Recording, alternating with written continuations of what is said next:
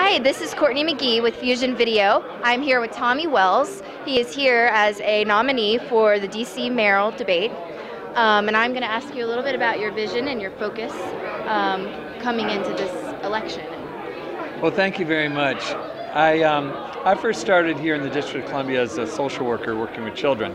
Went to law school at night, became an attorney, and continued to work on making this a better city and worked, I was a um, school board member to work on school reform, and now I'm on the city council. This election, really, we're at a crossroads for our city. We've had an unprecedented amount of, of scandals. We've got a mayor under investigation by the FBI and the U.S. Attorney for running an illegal campaign. We have three city council members that have had to leave the council. One's in prison, one's awaiting sentencing, and then we have three more council members that have been admonished by the ethics board and fined for really not following the laws of the council. Our, the one thing that will turn any city anywhere backwards is having a corrupt government. So I'm running to bring integrity back to government. I'm also running to get corporate dollars out of our elections. We've seen throughout our country that unlimited giving of, of, money by corporations, limited liability corporations, anonymous money, really does corrupt government. In fact, that's what's happened with, you know, in the past mayor's race. Why the mayor may be indicted is because of corruption in government. So I'm running without any corporate dollars. The only money that I take in order to run are from individuals.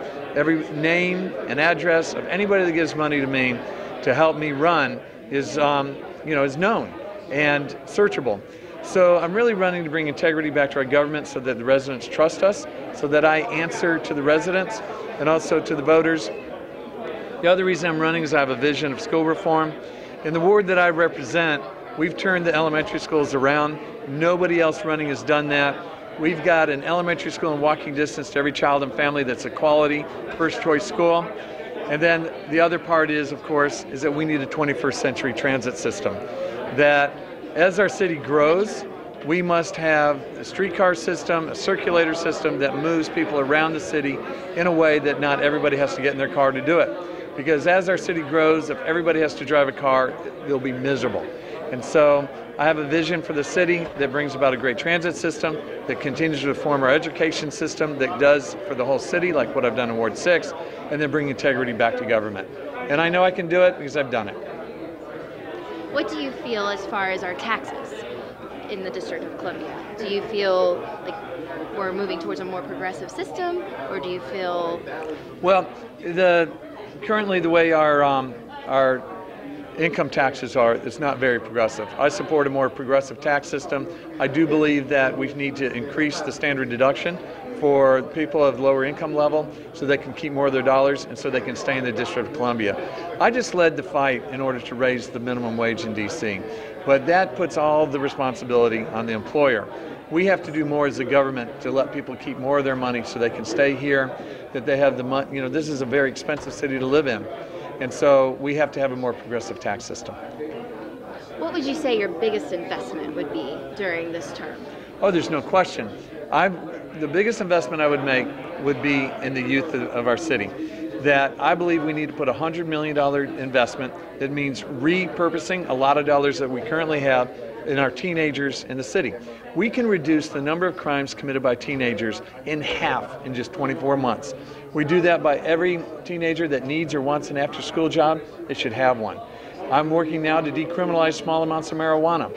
That, you know, generally you're going to have young people that involve in that. If they get a, a criminal charge, then starts to disassociate them from economic, being able to get jobs and, and that sort of thing. I believe that investment in our youth is the best economic development investment we can make.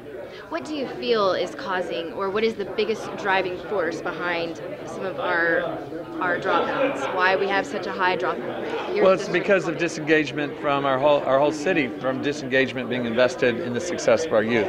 That I, you know, my background is I have a master's in social work and a special, specialty in adolescent health. I know that we can make our young people successful. It needs to be one of the top missions of our government. We have over 30,000 employees in the District of Columbia that work for the government. That should be part of everyone's job and the mission of every agency should be part of what they do is engaging youth in the neighborhoods where the agencies are located. Getting them involved. Getting them involved with apprenticeship programs, internship programs, after school jobs, tutoring, all those kinds of things, so that you know. They're I- inspired. They're motivated. I know this as, you know, for me, I've been mentoring a young man who grew up in public housing since second grade. This year, he's graduating from college. I'm proud that he's be- beaten the odds, but I've been there with him the whole time. I know we can do it. Thank you, Courtney. Thank you so much.